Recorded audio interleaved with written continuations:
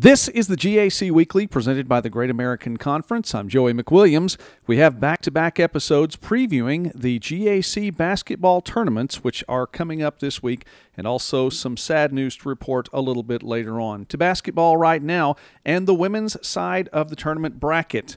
Eight teams have made the playoffs once again, and the postseason looks like this. The first game of the weekend, which will be Thursday, March 7th, and will run through Sunday, March 10th. The first game is the second seed, East Central, taking on the number seven seed, Arkansas Tech. That is a noon tip time to get things underway in Bartlesville, Oklahoma. East Central, 21 and 7 overall, 16 and 6 in league play. Has the league's best defense, giving up less than 60 points per game, 59 29.8 each outing. And the Tigers have won seven straight, led by seniors Lakin Priestner and Tia Williams, who are putting up right at 13 points per game. Arkansas Tech is the number 7 seed, unfamiliar territory for the Golden Suns, 13 and 15 overall, 10 and 12 in league play. They struggled early, but have won 5 of the last 8, led by Hannah Lines. 13.9 points per game, and she's hitting three pointers at a 50% clip. Again, that is a noon tip time on Thursday. The second game of the tournament on the women's side of the bracket will pit the number one seed, Southwestern, against rival number eight seed, Northwestern.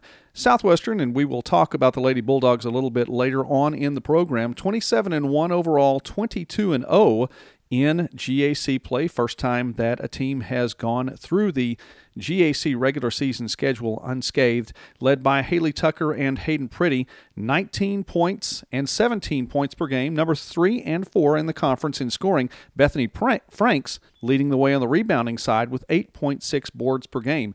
Northwestern into the postseason for the first time as a Division II program, 12 and 17 overall, 9 and 13 in GAC play. And when these two teams take the court, four of the top 10 scorers in the league will be on the court likely at the same time. We talked about Tucker and Pretty. Bailey Brown, 14.8 points per game, and Kaylee King, 14.3 points per game for the Rangers. And by the way, that will be on Thursday at 545. Friday action looks like this. It's number four seed Harding taking on number five seed Henderson State. That is a noon tip time as well on Friday. And Harding 20 and 8 overall, 15 and 7 in league play, led by Kelly Lampo, who is second in the league in scoring 19.1 points per game and sixth in the league in rebounding, 7.5 boards per game, a candidate for Player of the Year in the conference as they take on the Reddies, 18 and 10 overall, 13 and 9 in GAC play. Second leading offense, putting up 71.9 points per game, led by Pink Jones, who is second in assists, 4.5 assists per outing, and ninth in scoring at 15.4 points per game. The final game of the first round of the tournament, quarterfinal action, has number three seed Southern Nazarene taking on number six seed Southeastern. That is at 2:15 on Friday afternoon. Southern Nazarene at 16 and 12, 15 and 7 overall, had a season-ending loss at Monticello, but lost only four games since the calendar turned to 2019. Well, Southern Nazarene scores 62.5 points a game, gives up 62.5 points per game, but also look for Abby Nehus on the inside, who has an incredible 3.7 blocks per outing. Adrienne Berry leads the way for the Crimson Storm with 11.7 points per game. Crimson Storm taking on the Savage Storm, Southeastern the 6th seed, 14 and 12 overall, 12 and 10 in league play. Had a four-game losing streak to open the month of February, but have won 3 of the last 4. Katie Webb, who's the only player in the top 10 in the conference in points, rebounds, and assists, the league's leading scorer, hasn't seen action since an injury on February 7th. Freshman Briley Moon looked for her to take up some of the slack for scoring for Southeastern. And that is a look at the quarterfinals. We talked about Southwestern, the number one seed, the preseason favorite in the conference, and for good reason, bringing back Tucker and Pretty as seniors. We had a chance to visit with Coach Kelsey Music about this season, and yes, winning a regular season championship was something that was one of the preseason goals, but they've taken it to a new level you know, I think this team has worked really hard. I thought, like, you know, I think we've talked about before last year, you know, we were able to to win the regular season, which we haven't been able to do at SWOSU, and and obviously they wanted to repeat, and you know, they just took it to a whole nother level, and the maturity and just the just the grit and the desire of this team, it, it just it keep, continues to impress me. But especially of these seniors, they're doing a great job of leading, and their determination is is quite impressive. So much has been said about the defense this year and the switch that you made on defense to really uh, make that a priority. Can you talk about that one more time, and, and does it continue to bode well for your team as you move along? Absolutely. You know, um, you know, like we said, I, I, we won the regular season last year, um, but you know, we didn't win the conference tournament, and I didn't feel like we were playing as good as ba- of basketball as we needed to, you know, in March when you have the opportunity to to win and, and move forward. And you know, we got to we made it to the national tournament, which was was a you know a great thing, but to be able to uh, get there and then to lose in such a close fought game versus Fort Hays, I think it left a sour taste in their mouth as far as my team. But I knew personally as a coach, I had to do something a little different. We had to do some, you know, our offense had always been able to score at a high pace. Um, but defensively, I just knew we needed to do something if I wanted to take it to another level. And, you know, I did my research and I decided to, to go all in with with our full court press and the pressure defense, and it has definitely played paid off in and dividends for us. You know, the biggest thing is I think initially I think my team thought I was crazy because all of it, obviously all of them don't have the speed and strength of Tyra Aska. But once they realized what I expected of them and you know, once we were able to win some games by double digits and they saw, man, we're winning at a higher rate. We're winning by more points. They really bought in, and it has really taken off for us. It's been a difference because we've been able to force those turnovers. But to, you know, and now our focus is you have to transition those turnovers into points for us. We have to capitalize on those turnovers. So um, the, the, defense has definitely been a huge part because it's allowed us to to continue to score at a high rate, but to not be as as flawless on defense because we always made mistakes, and this kind of hides some of our mistakes, I believe. And coach, I think all of us wish that we were as strong and as fast as Tyra Aska. That would that would be great. Well, eh, you you can't move on though without talking about the offense. You're scoring at 86 plus points a game, better than 14 points more than the second highest scoring team in the conference. It's an offense that continues to produce as well. You all have not slacked off in that level.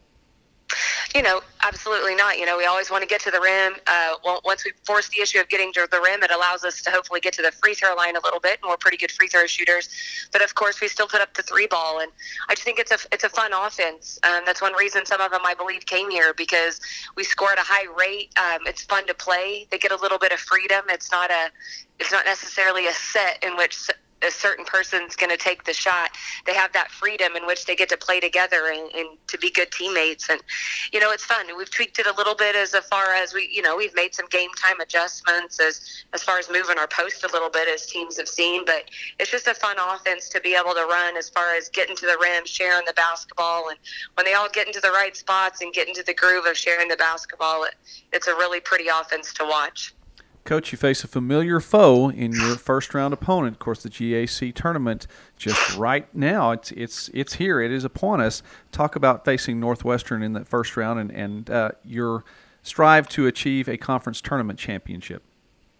You know, obviously Northwestern's done a great job this year. Um, they they made it to the tournament. I'm I'm obviously that's probably one of their goals is to make it to the tournament, and you know they do things it's just a rival matchup, so it's obviously uh, an intense game, and so they they usually run quite a bit of zone, and sometimes they throw some different defenses at us. So we just have to be prepared to make adjustments, and and we have to make sure we get the ball inside out and share the basketball. But you know, in order to win a tournament, you're we are going to have to elevate our game. That's one thing I've been talking to my team about.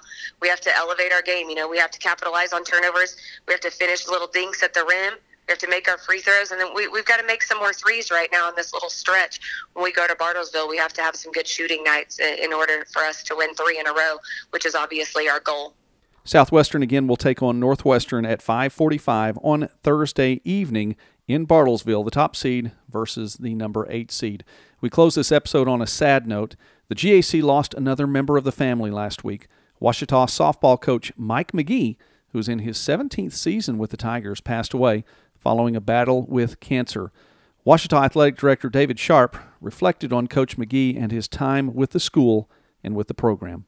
We are deeply saddened here at Ouachita Baptist University and Ouachita Athletics with uh, with his passing, and um, we are um, we are very very fortunate and thankful and grateful for everything that he brought to Ouachita softball. He he has been a part or was a part of the program uh, for every year in its existence except for one. Um, he came and he uh, he he's he's built what we have not only uh, structurally with the facilities down there with the help of some friends and, and relationships that that helped him get some some physical things done down there but he's also built the kind of program with his student athletes that anybody and everybody not only would be proud of but they respected the the expectations that he had from his student athletes is from an academic standpoint going to class but also from their values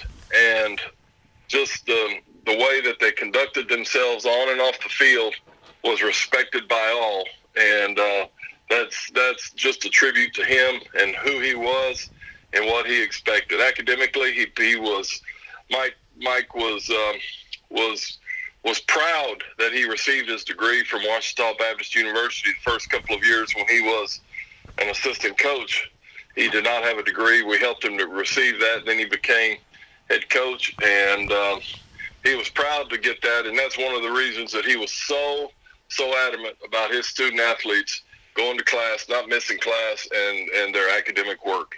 Uh, he was um, uh, he was a tireless recruiter and a hard worker.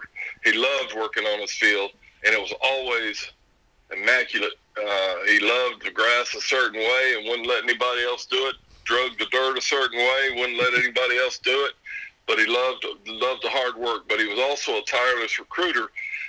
In all the years that I I you know that he was our coach, he would drive many many miles through the day, through the night, on the weekends, in the summer, in the fall to see players, to see commitments that he already had, to see people that had already signed early, just to see them play, uh, you know, in a summer game or a, or a high school game. But uh, they would see him there, and that was definitely resembled, or you would that was reflected with the relationships that developed with those student athletes and the respect and love that they had for for him. Uh, I, I can't. Um, say enough that I, we our prayers and thoughts are with his wife Debbie, with his daughter Beth, his son Ryan, and uh, but also with the 24 members of that softball team. He was asked in the hospital how many kids he had, and he told the doctor 24, and the, the uh, doctor looked at his wife Debbie, and she, uh, I think she, she said that you know that's a softball team, and uh, so he, he considered them family, and uh, we want to keep all of them in our prayers. This has been the GAC Weekly. The GAC Weekly is presented by the Great American Conference. To hear and see this and more about the GAC and other college and high school sports, please visit oklahomasports.net and arkansassports.net.